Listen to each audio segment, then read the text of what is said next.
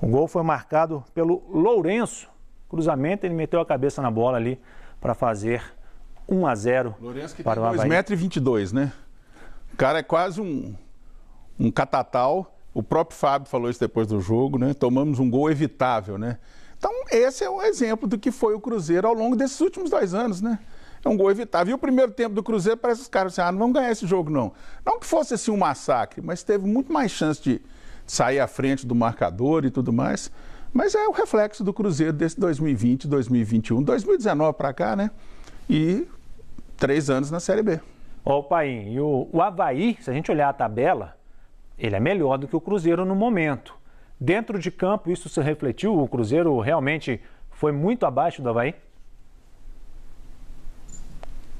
André, é difícil avaliar esse momento do Cruzeiro, porque é, o Cruzeiro está jogando bem, isso é, é, muito relativo, né? O Vanderlei tem montado a equipe para jogar com futebol mais competitivo, né? A ideia dele é competir o tempo todo e conseguir os resultados. Só que aí, diante da falta de qualidade técnica, a gente foi para um jogo com poucas chances, né? O Cruzeiro até teve bastante chance de gol, né? No primeiro tempo, aquela chance claríssima que o Cruzeiro perde, ainda no final do jogo ficou martelando, martelando, até nos acréscimos, mas o próprio Havaí também teve uma chance no final do jogo que o jogador desperdiça ali na frente do Fábio, praticamente. Acho que o grande problema do Cruzeiro é que é um time muito inconstante, que não consegue jogar as decisões como deveria jogar. A gente sabe que era praticamente impossível o Cruzeiro conseguir o acesso nessa temporada. Aliás, como no ano passado, né, o Cruzeiro vem de um início meio muito ruim de campeonato e aí chama alguém para tentar apagar todo o incêndio, todos os problemas que têm acontecido no Cruzeiro, que aí consegue uma série de vitórias, aí já sonha todo mundo com esse G4, G4 e Cruzeiro só passa longe, né? O Cruzeiro nunca chegou lá, de fato, a brigar pelo G4 nessas temporadas de Série B e fatalmente ano que vem estará na Série B mais uma vez que a gente tenha mais planejamento. Agora, eu acho que reflete dentro de campo, né? Além, né?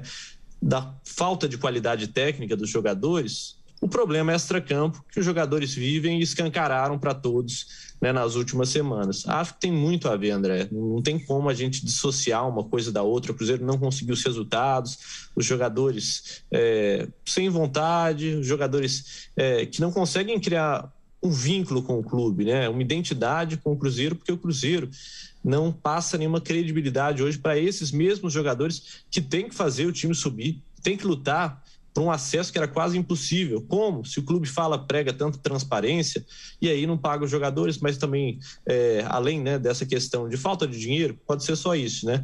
Mas é uma má administração que não respeita os próprios jogadores, os próprios funcionários. Então, deixar no ar esse tempo todo como vai ser pago, o que, que vai ser feito, os próprios jogadores, né, nessa última carta, quando voltaram da paralisação, disseram: ah, a gente teve uma conversa com o presidente e nada foi resolvido, nada ficou resolvido, nenhuma proposta. O presidente está aí conversando com os empresários há quantos dias? A gente não teve nenhum pronunciamento oficial para falar assim: vamos quitar as dívidas, conseguimos. Então, tem muita coisa que a gente não sabe, é muito nebuloso essa questão, toda essa questão que envolve o Cruzeiro hoje. Então, como falta transparência, a gente não sabe quais os reais problemas do clube. Que nos parece que é, um, é, é quase um poço sem fundo, porque se com todo esse tempo e com toda essa demanda midiática, todo mundo sabendo, os torcedores querendo saber, preocupados com a situação, o presidente e a instituição não conseguem resolver esse problema, não conseguem dar nenhuma resposta que seja para a torcida, a gente fica bastante cabreiro mesmo com esse futuro do Cruzeiro e fica com dificuldade para vislumbrar um futuro porque dentro de campo não funciona, mas fora de campo também não está funcionando. Fora de campo, as coisas só vão se ajeitar se dentro de campo o Cruzeiro conseguir voltar à Série A, conseguir ter de novo o nome e o respeito que antes tinha. Porque a instituição sempre fica. O Cruzeiro, dos maiores clubes do Brasil, é o clube mais forte fora do eixo, mas hoje está na Série B e não consegue montar um time forte, competitivo para subir a Série A. Nunca brigou pelo acesso. Vamos ser sinceros, o Cruzeiro nesse tempo todo nunca lutou pelo acesso e a gente tem que tentar entender o motivo. O Cruzeiro não tinha time para isso, não tinha treinador para isso, não tinha gestão que fizesse o Cruzeiro subir. O que está acontecendo com o Cruzeiro? A gente tem que buscar o mais rápido possível essa resposta, porque ano que vem o Cruzeiro não pode permanecer na Série B.